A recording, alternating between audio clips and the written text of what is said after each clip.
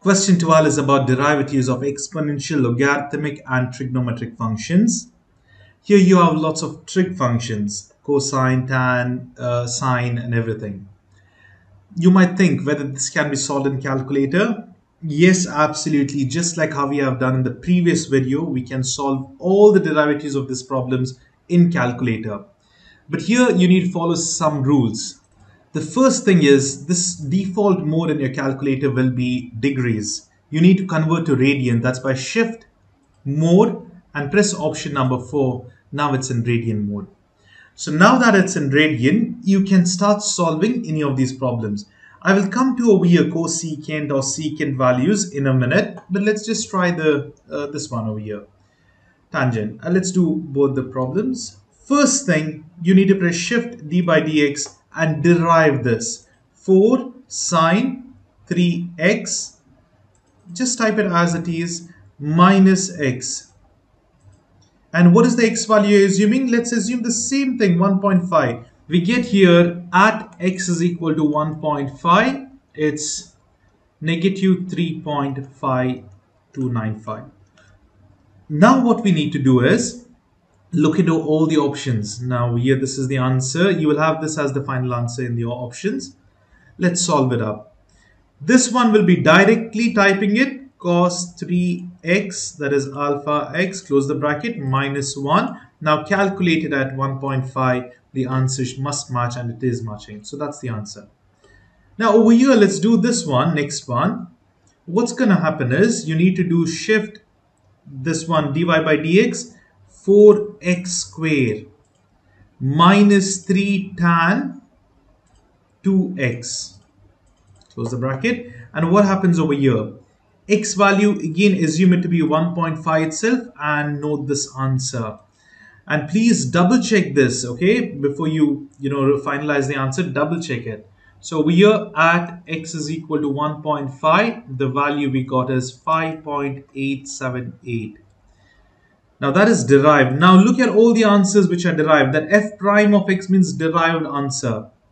Now what I do is clear it off, type it as it is, alpha x. Now what about secant? Do we have the secant option here? No, but we know secant is 1 by cosine, right? It's reciprocal identity. 1 by cosine is secant. Secant 2x. Now what about the square? I can't just square over here. It doesn't, uh, see over here, the square, it's wrong, you know, because the other thing gets squared up. So now I need to remove this. So how would I do it? I'll just write cosine 2x. So squaring is for the entire term. See this secant square, right? I'll just write it out. Imagine secant is there, secant x, that is equal to 1 by cosine x. Now we have 2x over here, so we write 2x. Now it's squared. This means it is same as secant x the whole squared. Okay. So I need to just put the brackets and square it up entirely. So now let me just use brackets here and over here ended up with brackets and square it. And now calculate it at 1.5 the answer will match. Now, if you have not done this properly, if you have missed the square or if you have missed the 2 or if you have not written the reciprocal identity properly, you won't get the answer. Please write this properly and then check at x is equal to 1.5. Same, whatever x you assume, it will match. Now, this one is straightforward. Let's look at this one over here, left side. You can see it's tan cubed. That's fine. First, shift dy by dx. The question will be derived. Use the brackets tan 2x. There is no t, so we use x as the variable. The whole power 3. The first part is done. Minus, what is cosecant? Cosecant is 1 by sine. But since it's raised to the power, open the brackets first. 1 by sine 3 times x, close the bracket, and now close the main brackets and power it up. It's to the power 4. And now what is the x value assuming? We always assume 1.5. So we will see what's the answer. Now we got a syntax error. Now look over here. Whenever you get syntax error, understand that's not a math error. That means it's not undefined or anything. Syntax is, I've missed some brackets or something. Let's check. It's good that this happened. Uh, let's go. See, it's telling somewhere over here there's a bracket issue. So here, See, I've not closed the bracket. Can you see that? Now it's all right, I believe. You get the answer 2.958. So this is the answer. So remember when it's a syntax error, check for the brackets. There are other type of syntax error as well. I will come to that in a later problem where natural logarithm comes in picture, ln. That is a different type uh, way to solve it. Now after this, I will solve each of the problems. Now we each of the solutions. Here is a big solution. It must match 2.95. It's always better to write it out. 2.9583 and what I will do is clear this off. Now it's in radian mode. If it was not in radian mode I will not get a matching answer. It'll be wrong. So whenever trigonometry is there put it in radian mode. Now 6 tan. Now it's squared so I'll use the bracket right now. Tan 2x and then square it up. Okay now I have to use another bracket and now square it up. That was the issue I had got in the last uh, just a while ago. Closing the brackets was the issue and then secant. So open the brackets. What is secant? It's 1 by cosine 2x. And now it's squared. So I need to close the bracket and square it up. Plus we have 12 again. Open the bracket. It is 1 by sine now because it's cosecant.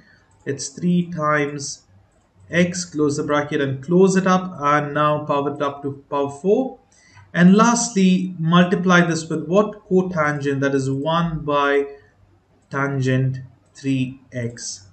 Close the bracket. Now, what do you want to calculate at? 1.5. Is the answer matching? Yes. Only one correct answer will match. So this is the thing. As long as you know the substitutions, so for secant it's 1 by cosine, cosecant is 1 by sine.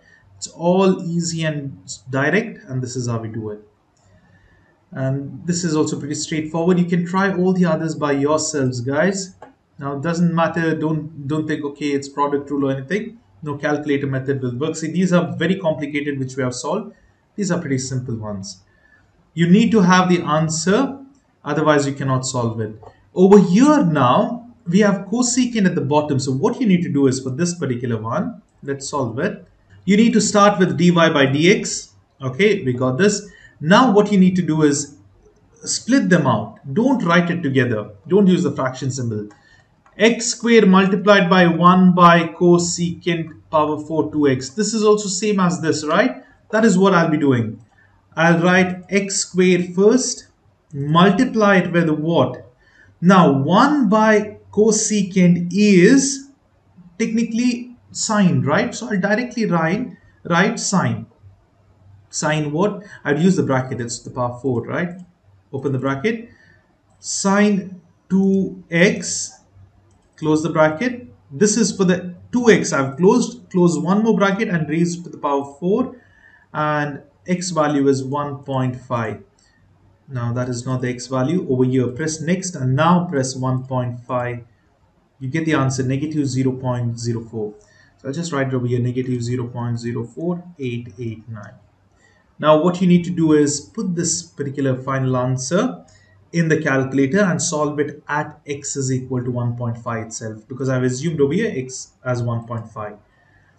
Here, do the fraction symbol 2x plus 8x squared.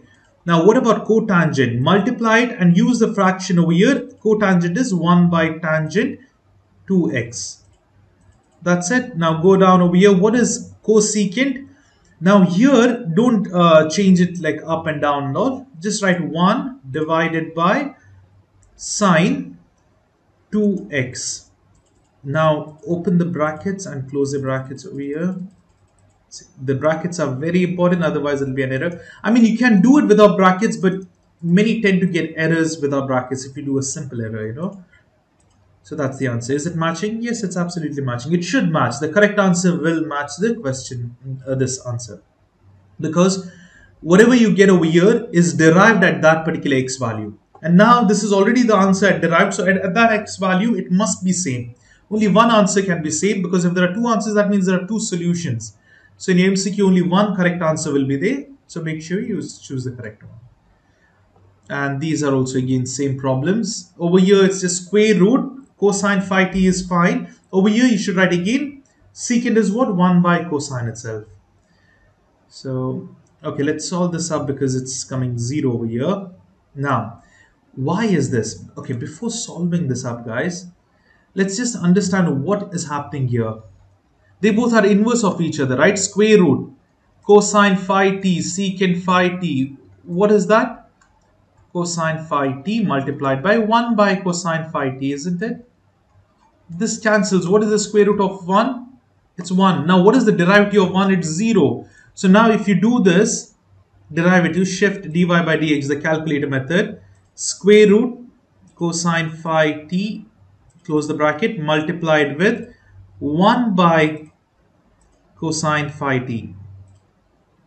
And now here at x is equal to any point, what will happen? It will be 0 because it's a constant value. So that's the answer.